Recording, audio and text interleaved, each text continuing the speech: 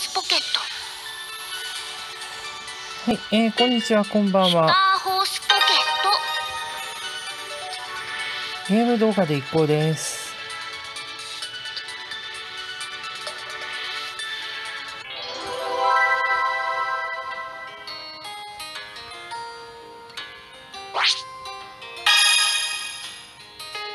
ト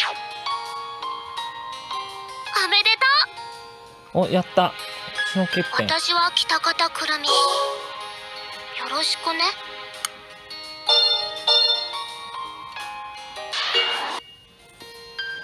東海トリックです。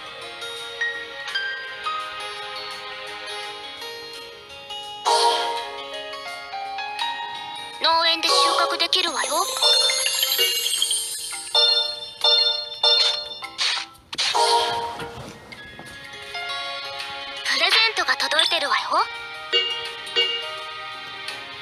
さて、やっていきましょう。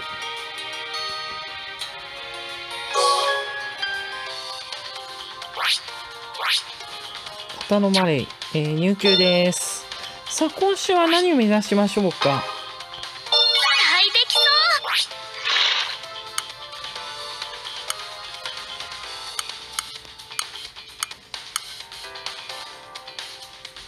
嬉しそうね何か用？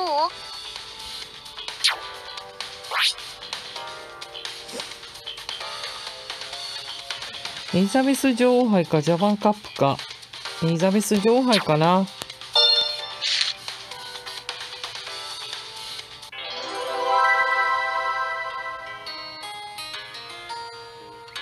なかやるじゃないありがとうございます。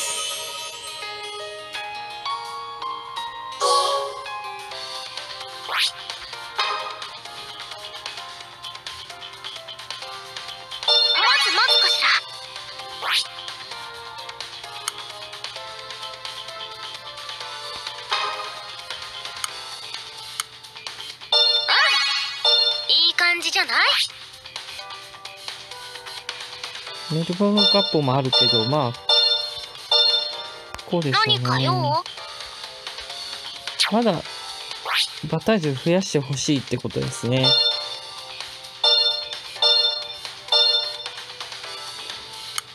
福永雄一日記場。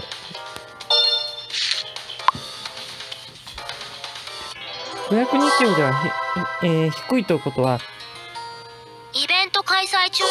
背負ってるバタージュが結構、いい感じじゃない？いい感じだわ。何か用おこれがベスト体重なんですね。506キロに上がった。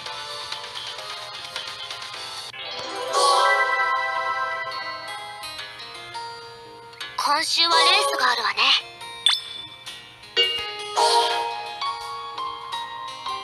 イベント開催中よさあ、今508キロです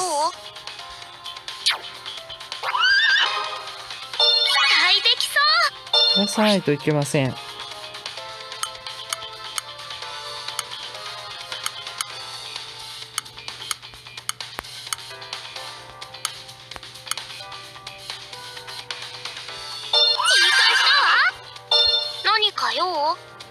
さあ、これでベストバタージュにしました。週を進めます。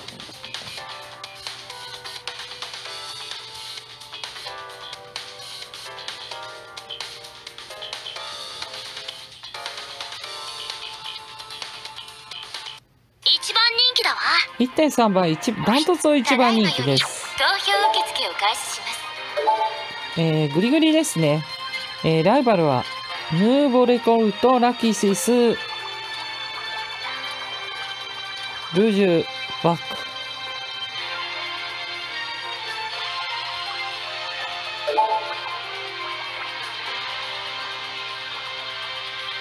比較的ね、逃げ馬がいなくて先行馬も少ないんで、前が止まるかどう止まるかどうかっていうのは、ちょっと心配です。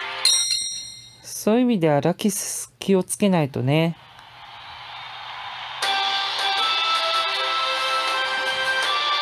京都競馬場秋競馬のエリザベス女王杯です。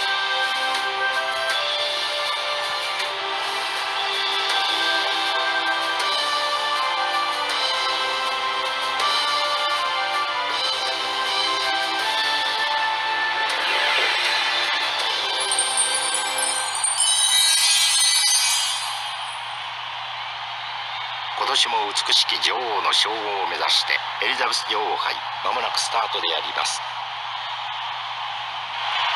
スタートを切りました。あんまりスタートは良くなかった？そうでもミングがないですね。合わなかった。これは追い込みの馬ですから大したことはないと思います。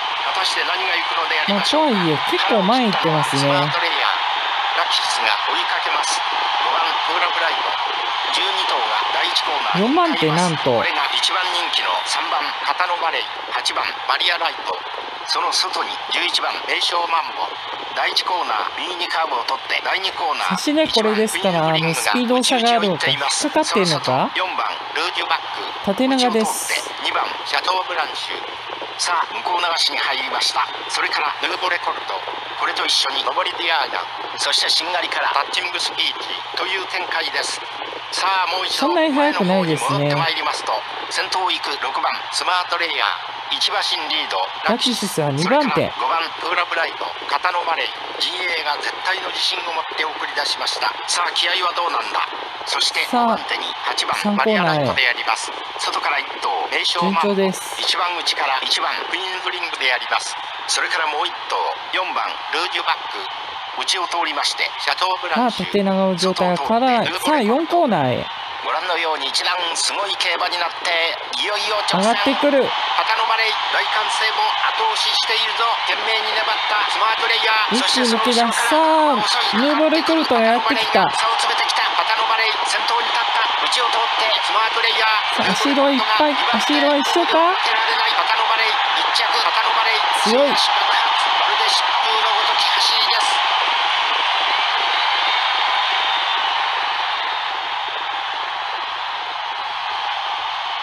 勝ちました。なかなかやるじゃない1着3 2着昨日確かエリザベス女王杯取れなかったんですよね。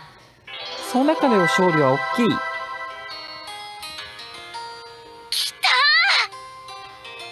嬉しそうです。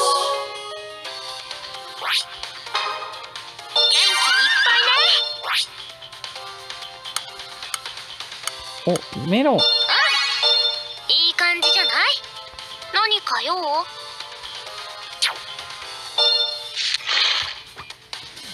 キュリというよりメロン。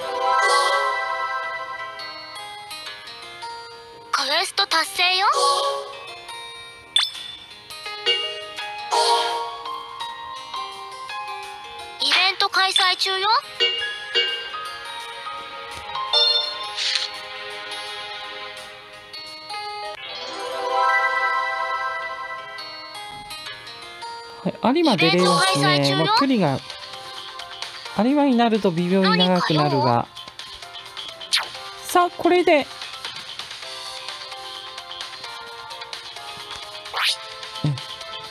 凱旋門賞の後のエリザベス女王杯見事制覇いたしました。次ですね、有馬記念に行くか、WBC に行くか、えーを考えます。とまず昨年のエリザベス女王杯2着だったんで、同じ福永で、えーリベンジを果たすことができました。ここから再びあの上昇気流に乗っていきたいと思います。えー応援よろしくお願いします。えー応援といえばチャンネル登録ご協力お願いします。えー今900人超えました。あと100人となっております。1000人になりました。えー収益化など、えー恩恵も収益化の可能性も出てまいりまして、恩恵も出てまいります。えー皆様の力が、えーこのチャンネルの後押しになります。ぜひご協力よろしくお願いします。ブログ、ツイッターやっております。説明欄にアドレス記載してます。よろしければ見てください。この動画最後の20秒で関連動画、動画プレイリスト表示されます。お時間ありましたら見ていただければ嬉しく思います。はい。えー、ご視聴いただきありがとうございました。ゲーム動画でいこうでした。